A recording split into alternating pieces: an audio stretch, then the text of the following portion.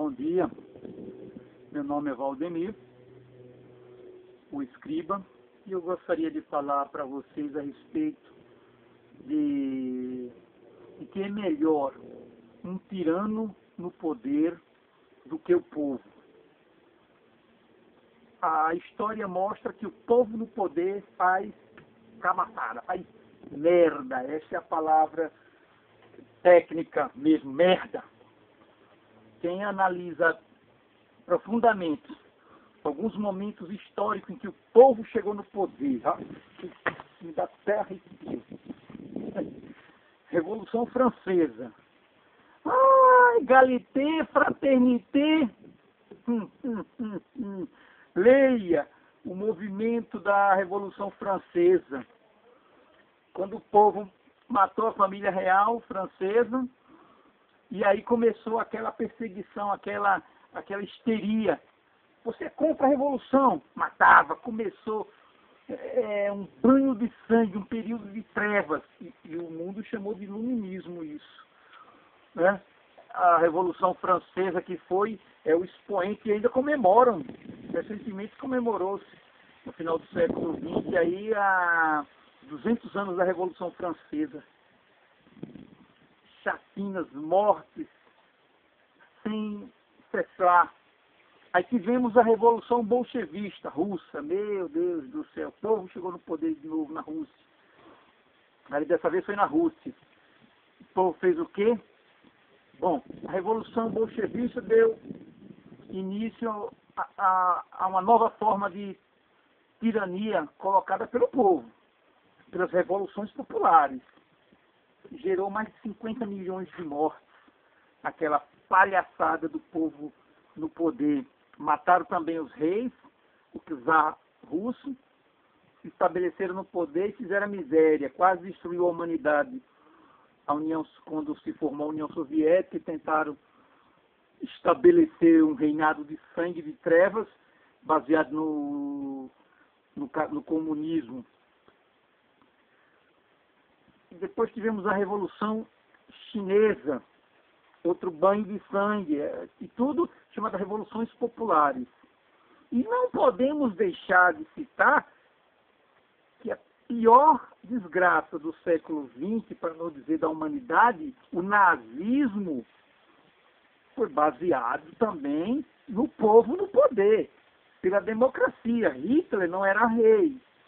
Hitler não tomou o poder à força. Hitler foi eleito pelo voto popular do povo, né? Até hoje podemos dizer que os alemães é um, pro, é um povo bem civilizado, bem culto. Mesmo assim, este que é o mais civilizado e culto, conseguir fazer a besteira de colocar no poder Adolf Hitler, através do voto popular. Então, é, eu fico assistindo, eu sou licenciado em História, e eu fico analisando a história, lendo, lendo, lendo. E quanto mais eu leio a história, mais eu tenho certeza nós estamos descendo. Nós estamos ladeira abaixo. A humanidade não tem jeito. A situação da humanidade é fatalista. Ah, mas está sendo tirado, não tem que lutar nada. O mundo tem que fracassar, o governo humano tem que fracassar para que ao final Deus estabeleça o seu reino de poder para aqueles que seguirem a Jesus Cristo. Se não forem seguir, serão eliminados e para isso Deus fez um inferno de tortura e sofrimento eterno. A pessoa que é contra a pena de morte eh, não pode ser a favor de Deus, né? Que Deus tem a pena de morte eterna, de sofrimento eterno. Mas enfim, Deus está deixando a humanidade se autogovernar. Geração após geração nós fazemos besteira, uma maior do que a outra. Não adianta inventar iPod, não adianta inventar computadores, aviões, naves espaciais, sistema de telecomunicações. Nós somos imbecis.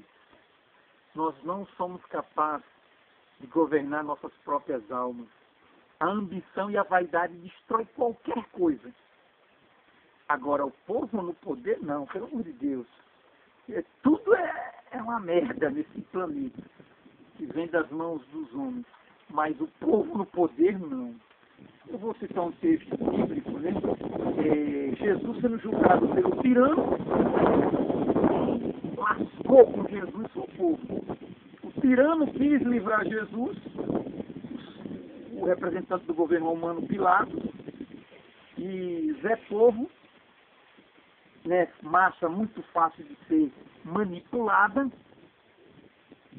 coloca Jesus, condena Jesus. Vou ler o texto aqui do julgamento de Jesus para recordar vocês, porque é melhor um tirano do que um povo no poder. Em Lucas, capítulo 23, diz assim, versículo 12 em diante. E no mesmo dia Pilatos e Herodes entre si se fizeram amigos, pois dantes andavam em inimizade um com o outro. E convocando Pilatos, os principais dos sacerdotes e os magistrados, e o povo, disse-lhe, veja só, hein, já dois tiranos já tinham julgado Jesus, Herodes e Pilatos, e não viram em Jesus crime algum.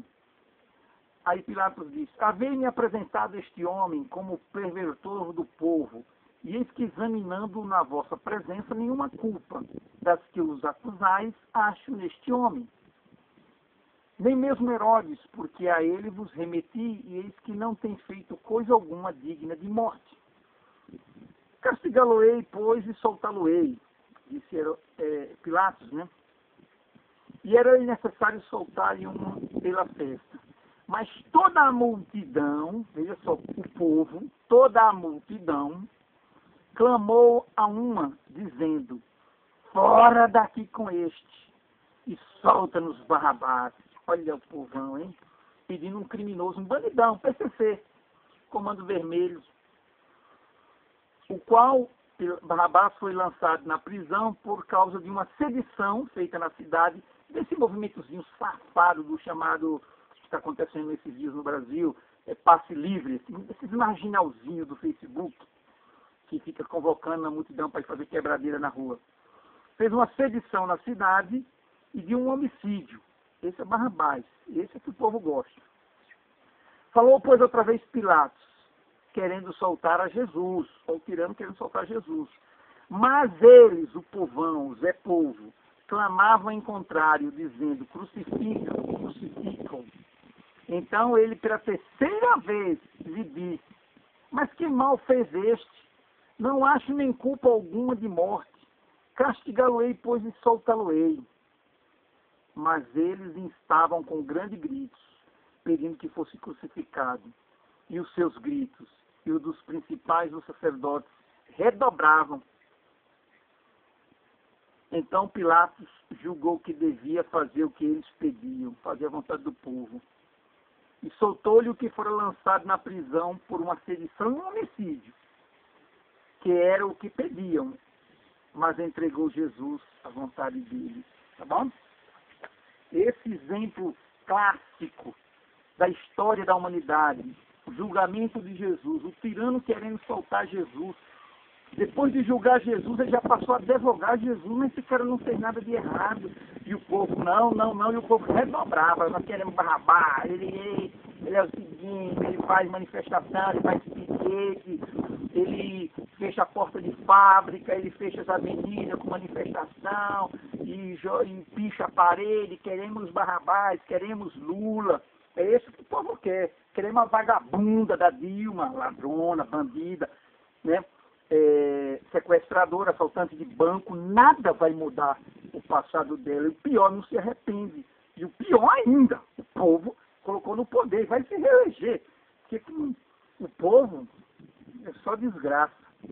É, eu estou comentando o que eu acho. Minha fé está na Bíblia. O meu rei é Jesus, vai reinar um dia e para sempre, eternamente. Deus é soberano. Agora, é, é, é, dá até desânimo. Quando a gente estuda a história, é, aliás, toda vez que eu vejo notícia, é, é desanimador, apesar da, palavra de Deus prever essa desgraceira toda, mas nossa, é difícil engolir, viu? Esses dias só estou escutando esse negócio da, dessas revolução aí em Belo Horizonte, em Porto Alegre, São Paulo, Rio de Janeiro, quebrando os palácios, quebrando tudo.